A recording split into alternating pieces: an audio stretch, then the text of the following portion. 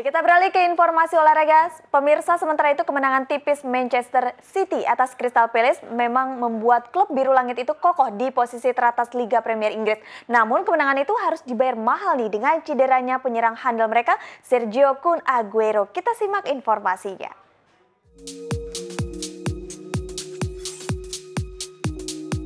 Fans Manchester City bisa lega ketika mengetahui kabar bahwa cedera Sergio Aguero tidak parah. Sebelumnya dikhawatirkan striker andalan The Citizen itu akan absen lama lagi usai mendapat gasakan keras dari back Crystal Palace Scott Dan.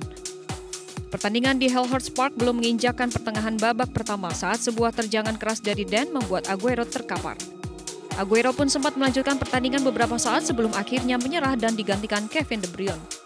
Melihat Aguero yang kesakitan ketika berada di bangku cadangan tidak mengherankan jika fans City khawatir dengan kondisi striker asal Argentina itu. Untungnya Aguero paham dengan situasi yang ada dan Aguero kemudian mengabarkan kondisinya terkini melalui akun media sosial miliknya. Mantan menantu Diego Armando Maradona itu pun berterima kasih atas perhatian fans The Citizens. Aguero yang mendapat terjangan keras dari lawan namun hal itu tidak menghalangi pemain berdarah Argentina itu untuk bermain lebih lama lagi. Kehadiran Aguero saat ini memang sangat dibutuhkan City.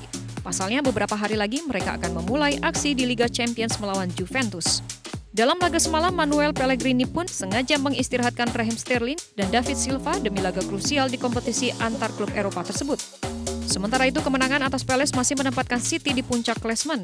Mereka harus berterima kasih pada pemain muda bernama Kelesi Iheanacho yang mencetak gol penentu kemenangan di menit 90 meski dirinya sendiri baru masuk lapangan di menit 89. Good luck the citizens.